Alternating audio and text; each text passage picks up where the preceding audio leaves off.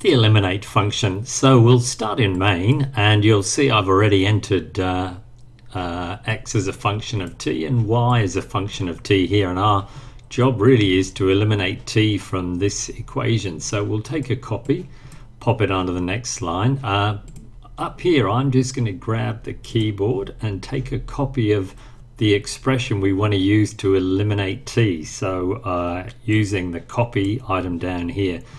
Now I'm going to select this expression, head off to interactive, and because it's to do with equations, you'll find the eliminate command down here. And uh, it's picked up the originally selected equation. The variable that we want to eliminate is t, so I'll head down to the variable menu and tap in a t.